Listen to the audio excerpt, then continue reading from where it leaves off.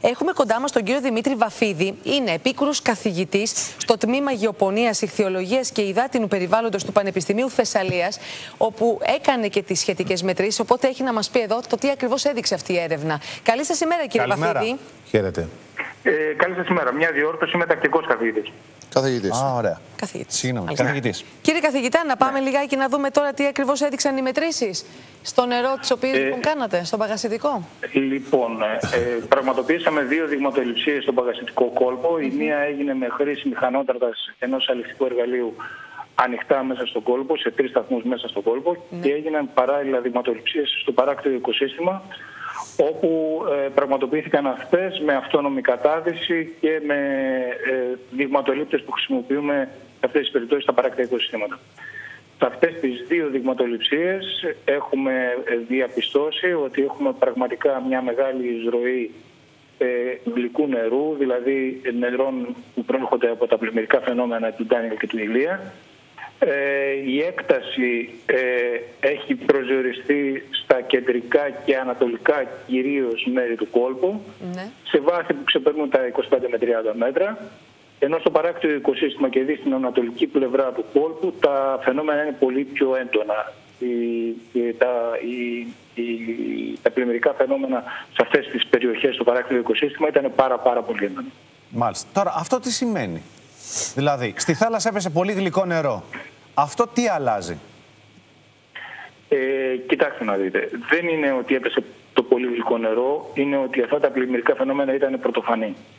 Μαζί με αυτά τα πλημμυρικά φαινόμενα, όπως τα παρακολουθήσατε, είχαν εκπλήσει των εδαφών γεωργικά λίμματα, βιομηχανικά λίμματα, αστικά λίμματα από τις γύρω περιοχές. Δεν είναι όμως μόνο αυτό. Είναι και τα φερτά υλικά που έχουν καταλήξει. Δηλαδή θα έχετε δει ότι ε, ε, κορμί δένδρων, ε, πλαστικά, λάστιχα, ακόμη και αυτοκίνητα είδαμε να ε, ε, καταλήγουν μέσα στον παγασιτικό. Σωστά. Βλέπετε εδώ και κάποιες εικόνες. Ε, αντιλαμβάνεστε ότι δεν είναι απλά ένα φαινόμενο που περιορίζεται σε ένα οργανικό υλικό που θα μπορούσαμε να πούμε ότι μπορούμε να προβλέψουμε τις συνέπειες. Εδώ μιλάμε για μια σειρά από υλικών, μια σειρά από ε, οργανικών ε, υλικών που είναι αυτή τη στιγμή σε διαδικασία ταυτοποίησης και οι επιπτώσεις αυτές είναι ε, ακολουθούν ένα συγκεκριμένο, ε, ένα Άρα- συγκεκριμένο ε, ε, ρυθμό θα λέγαμε. Έτσι. Άρα, κύριε Βαφίδη, οι άνθρωποι οι οποίοι ασχολούνται με την αλία θα έχουν μεγάλο πρόβλημα. Ε, δεν θα μπορούν να κάνουν τη δουλειά τους οι άνθρωποι; Ε, κοιτάξτε, σε πρώτο χρόνο θα πρέπει να είμαστε λίγο επιφυλακτικοί. Έχουμε πάρει και δείγματα από ψάρια. Περιμένουμε τα αποτελέσματα από, την κτηνιατρική, από τα κτηνιατρικά εργαστηρία, όπου θα διαπιστώσουμε τελικά ε, εάν έχουμε επιπτώσεις πάνω στους ιστούς και κατ' επέκταση ε, θα δούμε τι, ποιες θα είναι οι επιπτώσεις συνολικά στην αλία.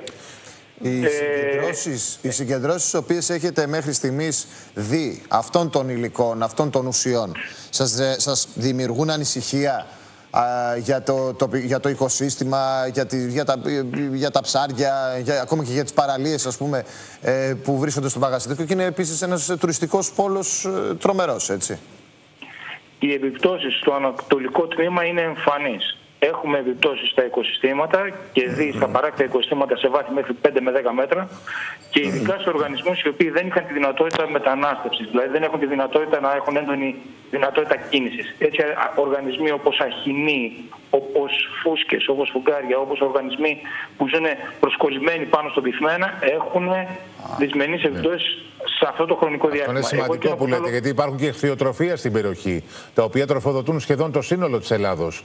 Και με τσιπούρες και με λαβράκια. Δηλαδή δεν είναι μόνο Ε, η αλία η οποία είναι ελεύθερη. Που και αυτό είναι μεγάλο Ναι. πρόβλημα. αλλά είναι και Υπάρχει και το- οργανωμένη Κοιτάξτε, αλία πάλι. κοντά στις ακτές. Ε, αυτές, αυτές οι εγκαταστάσεις που λέτε βρίσκονται στο δυτικό κομμάτι και βρίσκονται προς το στόμιο του κόλπου, οπότε οι επιπτώσεις είναι ε, περιορισμένες. είναι Αλλά λιγότερο εγώ εκείνο που θέλω να καθησυχάσω ξεκάθαρα είναι ότι τέτοιοι μηχανισμοί, τέτοιες λογικές έχουν συμβεί επανειλημμένα στο παρελθόν. Όχι αυτή τη ένταση που ζήσαμε με τον Τάνια και την Ελία, αλλά οι, το οικοσυστήματα έχουν τη δυνατότητα αυτορυθμιστικών παραγόντων και έτσι μπορεί να επανέλθει σταδιακά το.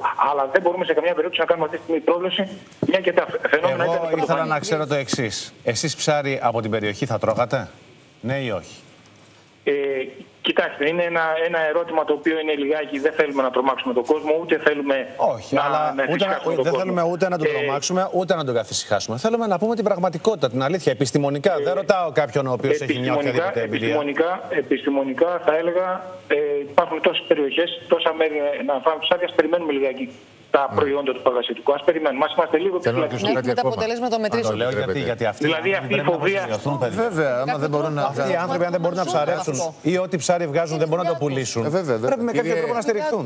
Ε, και μπορείτε να μας Αυτό ακριβώς που απαντήσετε. είπατε είναι πάρα, πάρα πολύ σημαντικό και αυτή είναι και η δική μας συλλογική προς το παρόν.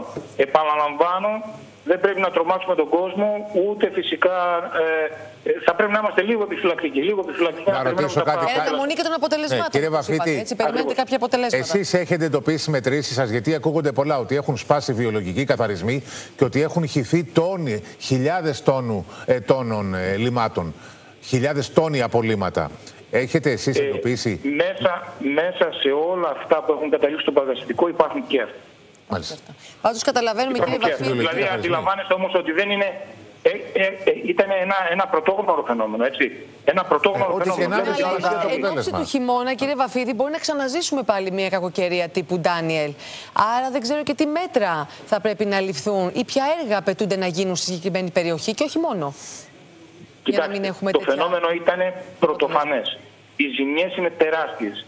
Η αποκατάσταση δεν ξέρω πόσο αντιλαμβάνεστε, αλλά σε καμιά περίπτωση δεν πρόκειται να γίνει με ό,τι μέσα και να διαθέσουμε Άμεσα. σε σύντομο χρονικό Ε, η διάστημα. διατροφική Δεν αλυσίδα μπορεί να ενδιαφέρει γίνει τον κάτι κόσμο μου. Ναι, και κάτι τελευταίο, αν επιτρέπετε, μια, την, την, τη γνω- την γνώση σας πάνω σε αυτό. Αν για παράδειγμα εμφανιστεί πράγματι ότι είναι, αρκ- υπάρχει αρκετή μόλυνση αυτών των ε, περιοχών και είπατε ότι μπορεί να αυτορυθμιστεί ο βυθός, θα πρέπει απλώς να περιμένουμε ή υπάρχουν και ενέργειες τις οποίες πρέπει να κάνει η πολιτεία, να κάνει η περιφέρεια ή η κυβέρνηση κεντρικά; Ε, σε πρώτο χρόνο είναι να μην έχουμε νέες εισρωές. Που κάτι που είναι πάρα, πάρα πολύ δύσκολο να το, αποφύγουμε. Να το αποφύγουμε. Σωστό. Αν γίνει μια νέα κακοκαιρία, Αυτό μπροστά μας λέμε. είναι ο Νοέμβριος. Σωστά. Οι βροχοπτώσεις στην περιοχή είναι έντονες στο Νοέμβριο. Μάλιστα. Εάν ε, ε, επαναληφθούν αυτά τα φαινόμενα, τότε ε, πραγματικά δεν μπορούμε να κάνουμε κάτι. Έτσι. Η και μέσα σε αυτό κτηνιατρική- το σύντομο διάστημα που Και έχει να κλείσουμε προηγηθεί, εδώ. Ναι, Γιάννη. δευτερόλεπτα. δεν Η κτή- έχουν, δεν, έχουν, Υπάρχει δεν, δεν ανησυχία προλαβαίνει για... δηλαδή να γίνουν οποιαδήποτε μέτρα. Έτσι. Υπάρχει ανησυχία για τη διατροφική αλυσίδα. Οι κτηνιατρικοί σύλλογοι, οι ενώσεις, οι υπηρεσίες,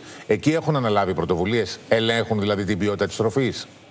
Αυτή τη στιγμή που σας μιλάω, ε, τον έλεγχο τον έχει αναλάβει το Πανεπιστήμιο και το κτηνιατρικό τμήμα, τα εργαστήρια της κτηνιατρικής μας. Κύριε Εντάξει, Βαφίδη. Το λέω με τον πιο ξεκάθαρο τρόπο ότι αυτή τη στιγμή θα έχουμε δεδομένα από τον καθήλυν αρμόδιο τα κτηνιατρικά μας εργαστήρια του Πανεπιστήμιου Θεσσαλίας. Ένα αναμονή και των αποτελεσμάτων. Ευχαριστούμε. Σας ευχαριστούμε πάρα πολύ. Θα είμαστε σε επαφή. Καλή σας ημέρα. Να